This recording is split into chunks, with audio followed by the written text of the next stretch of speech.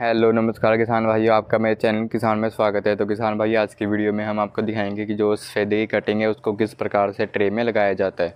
तो चलो किसान भाई वीडियो को स्टार्ट करते हैं। तो ये देखिए किसान भाई, आपको दिखाते हैं सफ़ेदे की कटिंग तो ये देखिए किसान भाइयों, ये जो है सफ़ेदी कटिंग जो है नीचे कटी हुई है। आपको थोड़ा जो है क्लियर दिखाते हैं।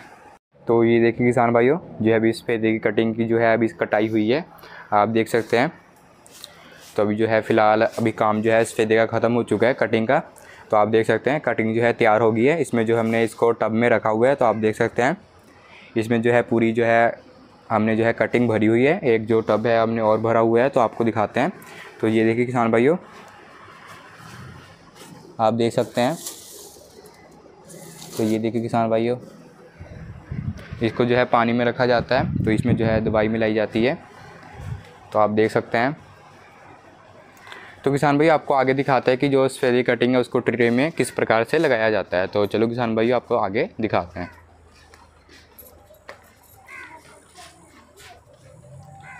तो ये देखिए किसान भाई, ये हमारे जो है मिड चैम्बर है, इसमें जो हम सफ़ेदे प्लांट रेडी करते हैं।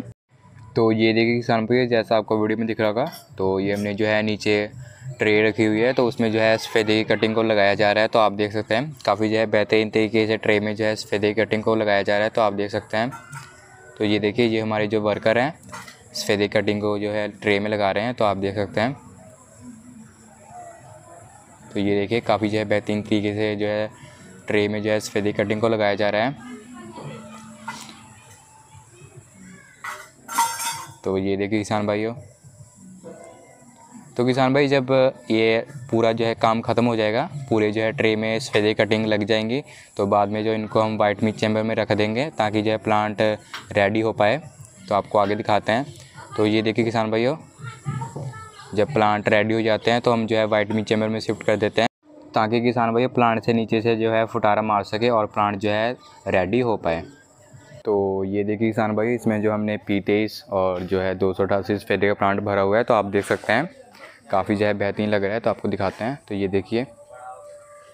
और ऊपर जो है स्प्रिंकल लगाए हुए हमने। तो ये देखिए। तो ये देखिए किसान भाई जैसा आपको वीडियो में दिख रहा होगा, ये हमने जो है सफेदे के प्लांट भरे हुए हैं।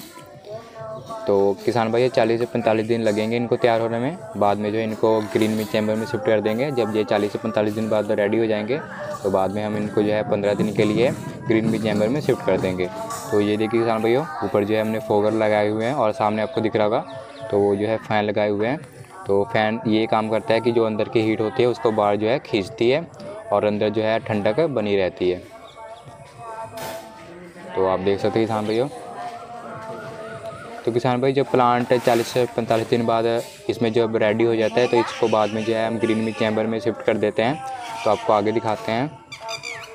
तो ये देखिए किसान भाइयों, जब 40 से पैंतालीस दिन प्लांट हो जाता है इसमें तो बाद में हम जो इनको ग्रीन चैम्बर में शिफ्ट कर देते हैं। तो आप देख सकते हैं तो अभी जो हम फ़िलहाल इसमें जो है प्लांट शिफ्ट किए हैं, क्योंकि ये प्लांट जो है रेडी हो गया है।